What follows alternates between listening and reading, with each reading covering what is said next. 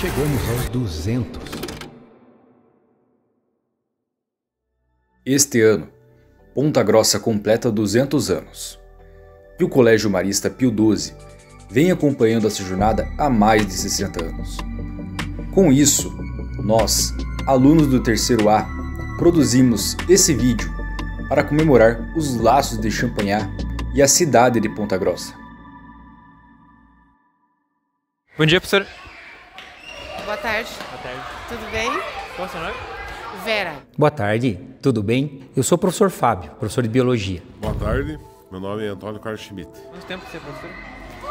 32 anos. 32 aqui anos? no Marista. Rapaz, fazem aproximadamente 21 anos de Marista. Agora eu sou coordenador da banda, banda marcial, já fazem 42 anos. Foi uma das experiências assim mais significativas da minha vida, que eu gostaria de estar aqui no colégio até eu me aposentar.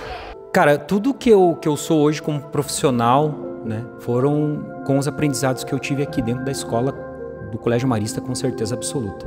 O Marista tem como objetivo formar cidadãos justos e solidários.